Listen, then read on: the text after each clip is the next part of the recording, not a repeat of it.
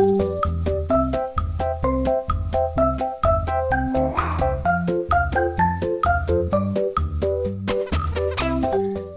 দর্শক, আসসালামু আলাইকুম।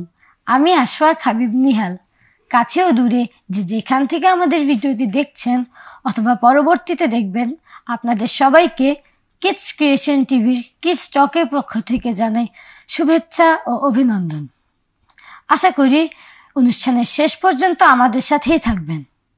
আর হ্যাঁ অনুষ্ঠানটি শেয়ার করে অন্যকে দেখার সুযোগ করে দিবেন। আর আপনি যদি আমাদের চ্যানেলে নতুন হয়ে থাকেন, তাহলে সাবস্ক্রাইব করে দিন।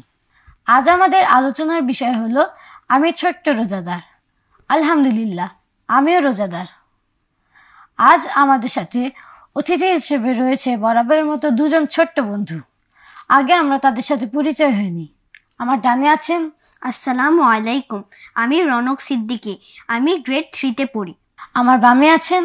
আসসালামু আলাইকুম। আমি মেহেদি হাসান মুবিন। আমি চতুর্থ শ্রেণীতে পড়ি।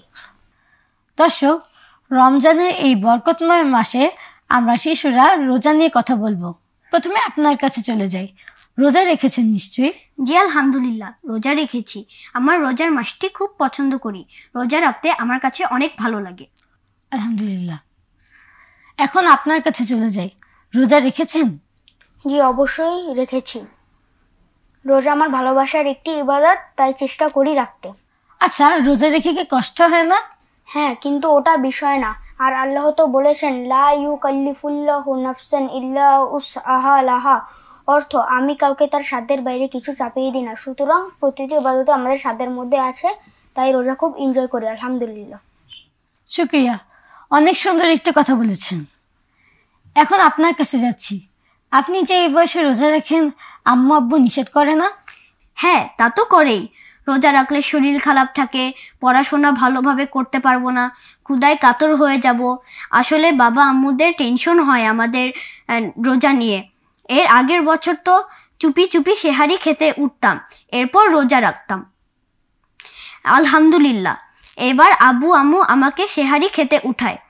আমরা আমাদের বাসায় সবাই রোজা রাখি।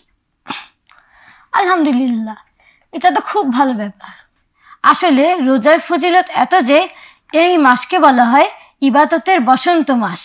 আপনার কাছে জানতে চাই, এই মাসে আমরা কীভাবে বেশি বেশি ইবাদত করতে পারি? আসলে ইবাদত বল ইবাদত বেশি বলতে আমি বুঝি আমি যতটুকু পারি ততটুকু যেন ভালোভাবে করি। তবে এই মাসে নামাজগুলো জামাতে পড়ার চেষ্টা করি বেশি বেশি কোরআন অধ্যয়ন করি দান সৎকার করি মাঝে মাঝে আত্মীয়দের সাথে ইফতার করি। আমি একটা কথা বলতে চাই। জি বলুন। অনেক সময় আমরা যখন মসজিদে যাই বড়রা আমাদের পিছনে পাঠিয়ে দেয়। এটা ঠিক না কারণ এটা আল্লাহর ঘর। একদম ঠিক বলেছেন। আবার কিছুদিন যেতে না যেতেই মসজিদ ফাঁকা হয়ে যায়। আমরা চাই সব মুসলমানরাই মসজিদে নামাজ পড়ুক। আমিন। আমিন। এখন আপনার কাছে চলে যাচ্ছি। রোজার সময় আম্মু খুব কষ্ট করে ইফতারি বানায়। আম্মুকে কি সাহায্য করা হয়? জি অবশ্যই আম্মুকে আমি সাহায্য করতে চেষ্টা করি। এতে আম্মু খুব খুশি হয়। অনেক ধন্যবাদ আপনাদের। আপনাকেও ধন্যবাদ। আপনাকেও ধন্যবাদ।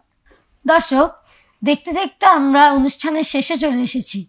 আপনাদের সবাইকে ধন্যবাদ আমাদের সাথে এতক্ষণ অনুষ্ঠানটি দেখার জন্য। দেখা হবে অন্য কোনো দিন অন্য কোনো বিষয় নিয়ে। সেই পর্যন্ত ভালো থাকুন সুস্থ থাকুন থাকুন সুস্থ সংস্কৃতির সাথে। আল্লাহ হাফিজ। আল্লাহ হাফিজ। আসসালামু। আলাইকুম। আসসালামু আলাইকুম।